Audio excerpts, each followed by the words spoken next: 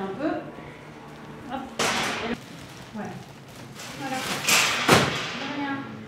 C'est un réflexe à prendre, je veux dire, c'est comme faire le tri à la maison. hein. Euh, On a deux poubelles, bon, bah, il y a- il y, a 15 ans, 20 ans, on n'y pensait pas. Maintenant, voilà, c'est c'est pas plus compliqué en soi. hein.